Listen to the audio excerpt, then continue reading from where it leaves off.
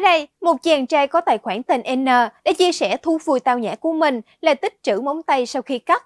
Và sau 5 năm, anh mới khui chiếc hộp đựng móng tay thừa ra để khoe trên mạng xã hội, khiến ai cũng rùng mình. Không biết vì rảnh rỗi hay sở thích quái đản mà anh chàng này đã đựng tất cả những lần cắt móng tay vào một chiếc hộp, ghi dòng chữ hộp móng tay 18 tháng 2 năm 2016 để đánh dấu ngày bắt đầu tích trữ.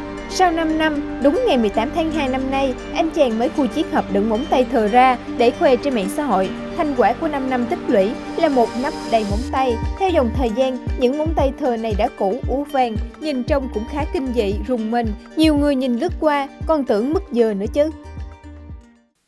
Ngay khi khoe kho báu của mình, chàng trai đã nhận về nhiều sự quan tâm, đa số đều bày tỏ sự ngạc nhiên và để lại bình luận hài hước bên dưới bài viết. Còn bạn, nghĩ sao về sự việc này? Hãy cùng chia sẻ dưới phần bình luận nhé!